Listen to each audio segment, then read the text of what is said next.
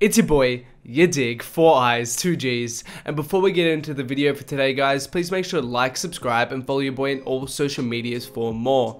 But on to today's topic. And today we're here to talk about Brockhampton. And Brockhampton is the collective, or boy band as they refer to themselves, that has risen to prominence over the last year or so in the hip hop scene. Their rabid fan base makes them inescapable on the internet. And in today's video, I wanted to discuss their journey to this point and kind of document key moments that have played into their success. Now, just to be clear, I'm not going to be starting from the very beginning, nor will I be covering absolutely everything, but I'm going to try to focus on and add context to key points. And let's start at the formation of Brockhampton. Brockhampton was basically a reimagining of another collective titled Alive Since Forever, where they switched up the name and added a few new members. This was sometime around late 2014, and at this time it's important to mention that this was still very early days for the group. Not even Kevin had really really attained much success as a solo artist like that yet, so they were still relatively small. And throughout 2015, they would release various singles. As well as this, they would win a competition ran by V-Files that landed them a video for Dirt that was released and executed by the label Fool's Gold. This was quite a big break for the group at that time, and with the track premiering on Beats One Radio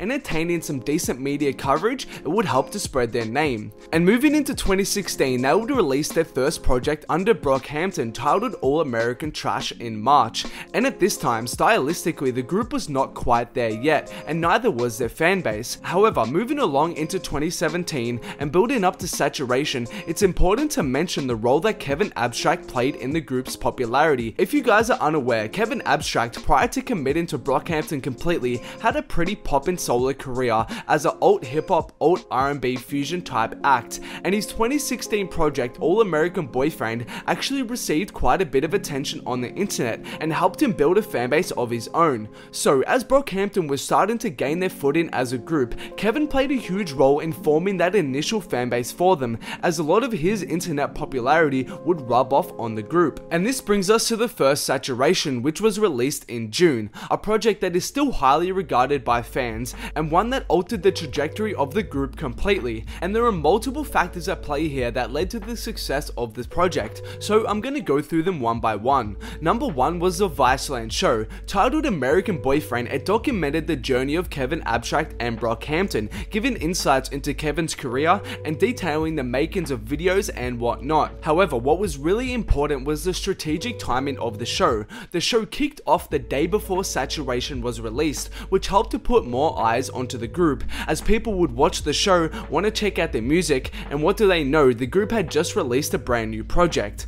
Second Secondly was the beauty of multiple internet cosigns. Let's first mention the hip hop head subreddit, because even prior to saturation, hip hop heads really embraced Brockhampton and were doing a lot to push their music. The singles they released leading up to saturation were given huge praise on the subreddit, and they helped to introduce many people to the group. And next was the role of popular internet figures. First of all, people like Enya, who runs a YouTube channel with over 80k subs, and Drew Phillips, who has a channel with over 100k subs, were friends of the collective and use their platforms to interact with members of the group, co-sign their music, and overall just expose Brockhampton to their audience. And next of course this brings us to the needle drop, Mr. Anthony Fantano himself. It's pretty widely known how much the emphatic review he gave for Saturation 1 did for the group.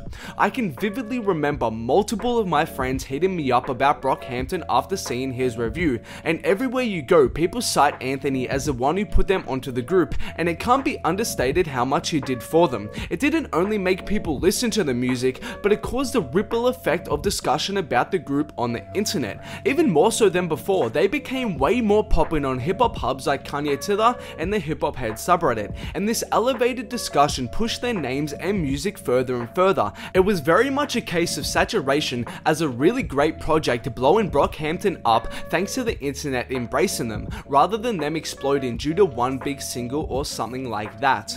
And once the internet latched onto Saturation 1, we saw the Brockhampton cult-like fanbase starting to form. On places like Twitter and their own subreddit, we saw people identify with the group in similar ways to how people identified with Odd Future back in the day.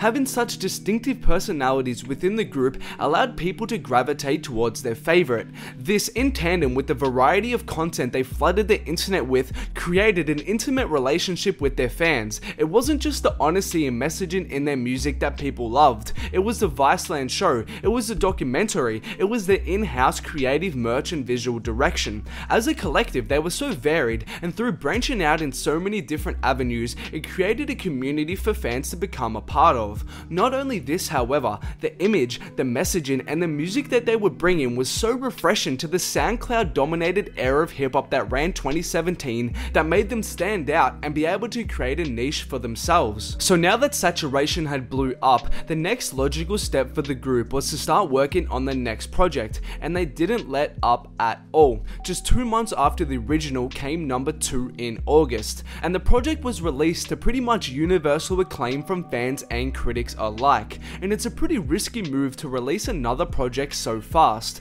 but because the sound and image they were bringing was still interesting and unique, and the fact that they delivered on the project itself lent them that leeway to be able to drop so soon, and with the warm reception of the album it kept their name everywhere.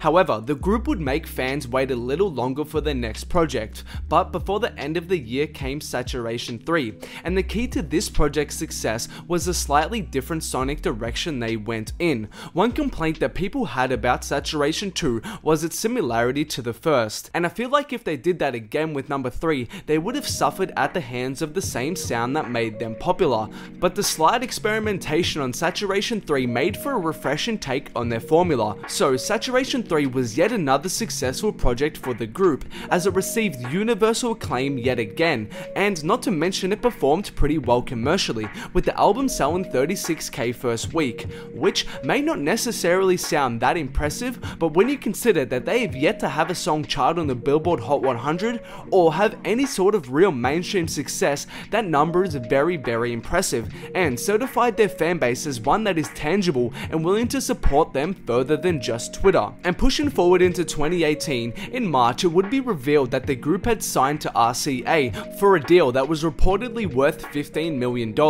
We've yet to see how much this deal will impact Brockhampton in any sort of tangible way, but I'm hoping as a result of this deal we will see them become more prevalent in that mainstream eye, as I think some of their biggest songs have had potential to pop off in the mainstream. Then, just two months after, Brockhampton would announce the departure of beloved member Ameer Vann due to sexual misconduct, a controversial decision that sent the internet into a frenzy, and in a sense kind of put Brockhampton in a compromising position, as fans not only questioned whether Ameer deserved this, but also he was looked at as a standout member of the group and a staple of their music, so naturally it raised concerns about how this would affect their music moving forward. Then, after several name changes, it would be announced that their next project would be called Iridescence, and being the first project post Ameer's departure, there was a lot of pressure on Brockhampton to deliver, as some people would become skeptical that they couldn't deliver the same quality of music without his presence. Iridescence was released on the 21st of September, and at the time of recording this has just come out, so at this point it's unclear how the album has been received and what role it will play in the grander narrative for Brockhampton. But for now, that pretty much brings us up to date for the roller coaster that has been Brockhampton over the last couple years. Thanks a lot for watching and I hope you enjoyed the video. Make sure to let me know what you thought about their most recent project in the comments below. Also, please make sure to like, subscribe, and follow your boy on all social medias for more.